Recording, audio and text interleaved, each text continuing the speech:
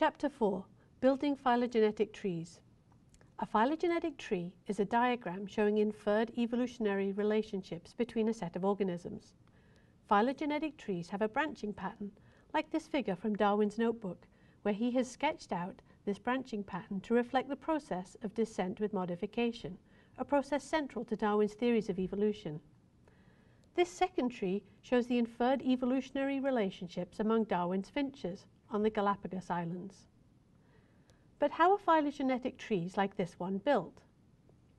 Well, any characteristic can be used to infer relationships and build phylogenetic trees, and DNA sequence data has proven incredibly helpful in clarifying and building many important phylogenetic trees. Using large DNA datasets to build trees can get quite complicated, but the underlying principle and logic is pretty straightforward. Sequences separated by shorter evolutionary distance are expected to be more similar to one another than sequences separated over longer evolutionary distances. We'll go through a highly simplified example to familiarize ourselves with the basic logic of phylogenetic tree building from DNA sequence data. We will do this in a series of steps so that you can pause the video at any point to work through the steps yourself, returning to the video to check your progress. In our simplified example, we have a set of six sequences. These are the equivalent stretch of sequence taken from the equivalent gene from each of the six species, and we're just going to refer to the species as A through F. The first step in the process is to line the sequences up against one another. Here we have the sequences aligned so that the equivalent nucleotide in each sequence lines up to form a column. This makes comparing the sequences much easier. With the sequences aligned, we can now compare each sequence with one another. We'll do this in a pairwise fashion, starting with sequences A and B. So our next step is to determine how many differences there are between sequence A and sequence B. When we do this, we see that in three positions the sequences are the same, and in nine positions they are different. So we have nine differences between sequences A and B.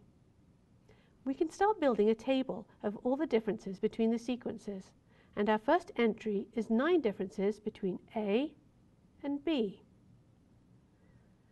The next step is to compare sequences A and C to determine how many differences there are between these two sequences. In this case, we can see that the sequences are much more alike, with 10 positions that are the same between the sequences, and only two that are different. So our next entry in the table is two differences between A and C. And we can continue comparing the sequences in this way until we have completed the rest of the table. This is our next step. And this is what the completed table looks like. With the table completed, we can move to the next step, which is to use the table to identify the sequences with the fewest differences between them. We will infer that these are the sequences that are the most closely related to one another. In our table, we see that the sequences with the fewest differences between them are A and C, with only two differences, as well as B and E that also only have two differences between them. With this information, we can draw the first groupings on our phylogenetic tree.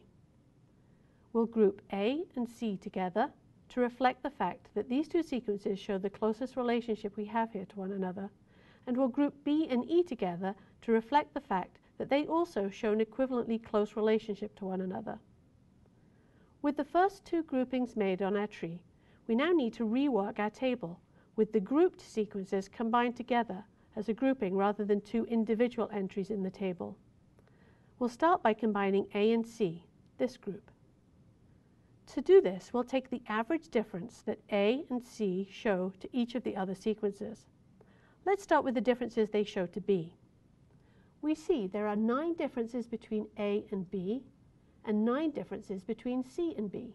So the average difference of A and C to B is 9, and we can make that entry on our new table. Let's move to the next position, D. We can see there are four differences between A and D, and there are five differences between C and D. So the average difference of A and C to D is 4.5, and we can add that entry on our new table. We can complete the rest of the table in this way. We have an average of nine differences between A and C to E, and 10 differences to F. The rest of the table can be copied down from the first table. With the AC grouping now added to our new table, we can proceed to also add the BE grouping. And to complete the table with B and E grouped together using the same approach as before. For B and E, we have an average of 9 differences to the AC group. We have 4.5 for AC to D and 10 for AC to F.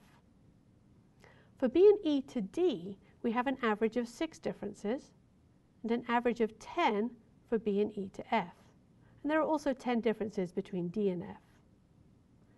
With this table completed, we can now proceed to the next step. This step is to identify the sequences with the fewest differences between them in our new table.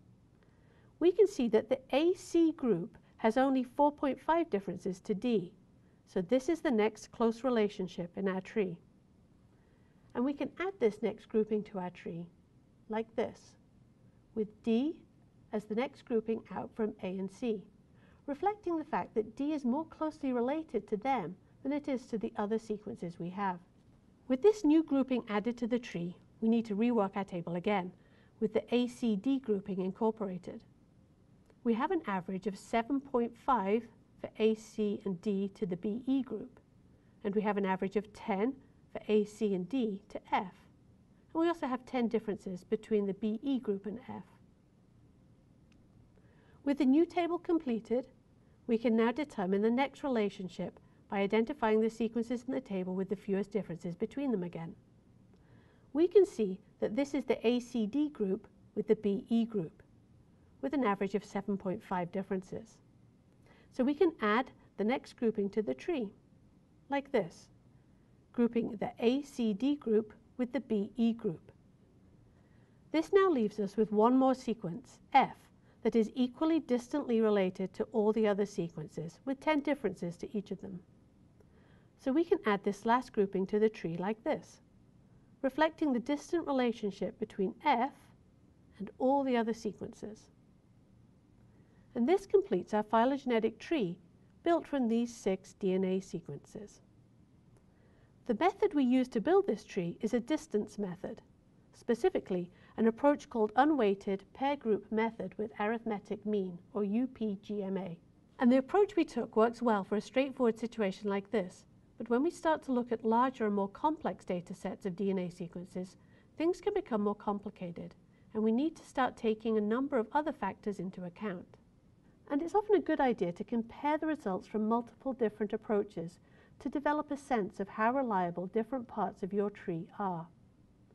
But despite these potential complications, the underlying logic remains that sequences separated by shorter evolutionary distance will be more similar to one another than sequences separated over longer evolutionary distances.